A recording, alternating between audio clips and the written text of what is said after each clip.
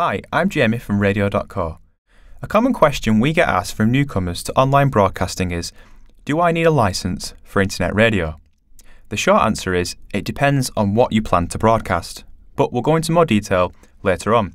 The point is, you should know what you can do to protect yourself and the licenses available to you. So, let's run through some things you should know when starting your online radio station. A quick disclaimer we recommend always consulting with qualified professionals or the relevant authorities for your country regarding copyright and licensing. The following suggestions aren't to be taken as legal advice, but instead act as a stepping stone to get you to the right place. Unlike terrestrial radio, you don't actually need to own a license in order to broadcast your stream online.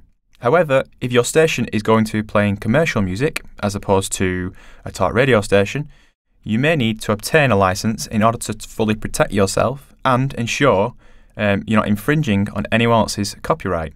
In most cases, the copyright is normally held by the recording artist or a record label, which we'll discuss a bit later on. Alternatively, if you plan on broadcasting certain types of royalty free music or talk radio, then you're free to stream it from your station. But if you want to play the latest hits, like for example the top 40, then you will need to look into licensing options. So, most internet radio stations cover themselves by getting what's known as a blanket license or an umbrella license. It covers your station and gives you the freedom to play any type of music. Most licenses like this are paid on a yearly basis and can vary in price depending on the country you're broadcasting from and the countries you're broadcasting to. However, in some cases, a license may restrict you to specific countries for example, only be able to broadcast to the USA and Canada. Radio.co actually offers a solution to this by using something called geoprotection that blocks listeners. So with Radio.co, you can use geoprotection to easily block or allow listeners from any country. It's a really handy tool if you need to restrict listeners from accessing your station. Choose either if you want to allow certain countries or block them as shown on screen. For example, it's ideal if you want to allow just a handful of countries like the UK, USA, and Australia to access your stream. There are a number of organisations and bodies who are ready to help you with radio licensing. It's their job to look after music, copyright, and royalties depending on your country. For example, here in the UK, we have PRS and PPL. So let's look at these. PRS stands for Performing Rights Society which collects royalties on behalf of artists, composers, and cover music that's played on TV, radio, and online.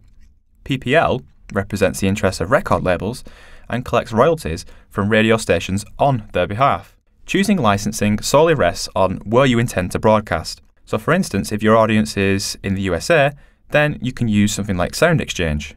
Working out what type of license you need and which body to speak to may seem like navigating through a minefield at first. Um, like PPL in the UK, for instance, covers small or standard broadcasters streaming to a number of different countries. As you can see, there's a few examples shown on screen to help you get started. There are plenty of licensing bodies for your country that make it easier, offering things like blanket licenses, like I mentioned earlier.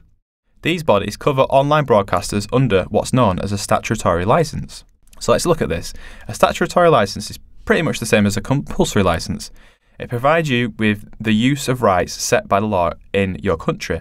Radio broadcasts online are defined as non interactive, meaning they fall under a statutory license which covers pre programmed shows that listeners can't skip or select their own music. The statutory license, however, doesn't apply here in the, U- in the UK, but it does in the USA and other countries.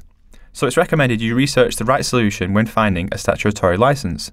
Fees also differ. For example, Sound Exchange, like mentioned earlier, um, charge around $500 per year, and BMI charge $350.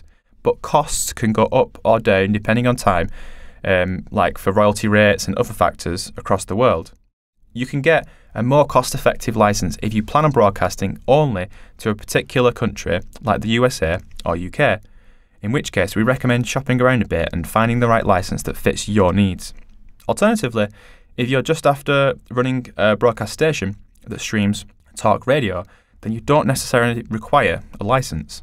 So, a common misconception about royalty free music is that you broadcast tracks free of charge. However, this isn't true. Instead, you only need to pay for a music license once, and then you can use the music for as long as you want and play it however many times as you want without any yearly fees. A royalty free license is usually a lot cheaper than a statutory license because you're not paying um, tracks for a set amount of time. Essentially, you're purchasing the rights to use the tracks forever. So, there's an abundance of great places online where you can find royalty free music. Here are just three examples. So, there's Jamendo Music, which is an independent music community to discover and download trending tracks. So, it's an ideal place to find new artists. Audio Jungle is quite popular as it has thousands of royalty free music, jingles, and sound bites from just a dollar. And finally, there's Audio Blocks, which has much of the same as Audio Jungle, but you get unlimited downloads. So it's a great place to start. Now, that's it for the presentation, but hopefully, it's given you some food for thought regarding online radio licensing. But if you have any questions, then you can drop us an email at studioradio.co. You can send us a quick tweet at radio.co or you can talk to us by booking a demo, radio.co, book a demo. Alternatively, if you want to get started with your radio station, today you can with your seven day trial.